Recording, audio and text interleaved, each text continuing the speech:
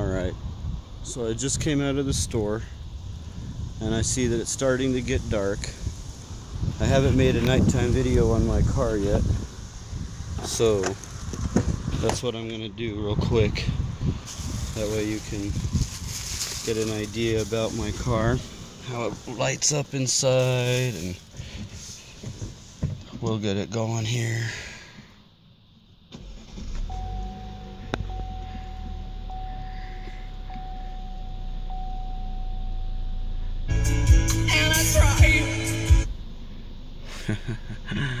Four non blondes. All right, lighting.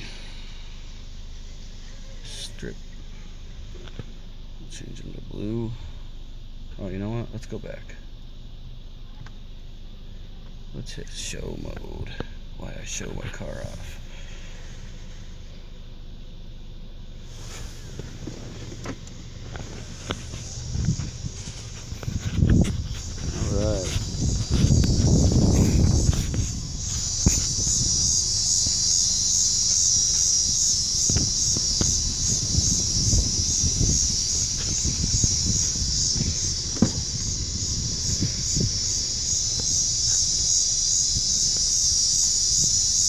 Door strips are going.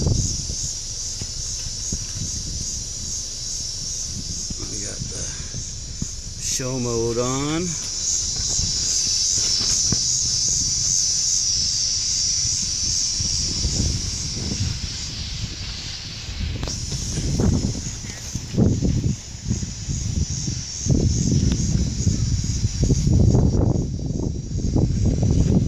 Spradley Chevrolet of Pueblo, Colorado. I appreciate you taking care of me on this. I didn't have a dollar when I walked in. I just had my other Camaro.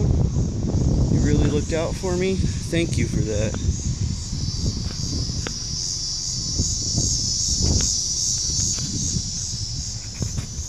Boom.